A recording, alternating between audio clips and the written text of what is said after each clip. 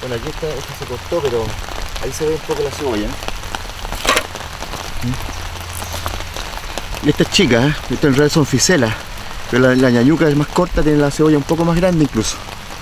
Ahí se ve que, que es tipo cebolla porque se ven las túnicas, ¿eh? De la... ¿eh? De la cebolla.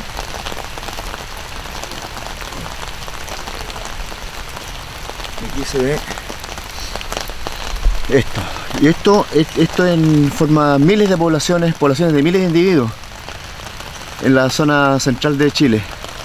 Y, y per- perfectamente en Santiago, en Santiago hay Ñuñuca y es probable que todo el Valle Central haya habido miles de poblaciones de miles de individuos de esta, de esta planta que son en realidad eh, tres géneros. Rodofiala, que es el más abundante, la ñañuca típica, Ficela, que es esta, que eh, la cebolleta es un, poco más chica, y el Willy, que es más chica aún, pero yo creo que eh, cuando la historia cuenta que Pedro Valdivia habría consumido, habría vivido un año posterior al ataque de Michimalonco a Santiago comiendo cebolleta, se refería fundamentalmente a las poblaciones de Yañuca, de las plantas del género Rodofiala, pues forman poblaciones de miles de individuos.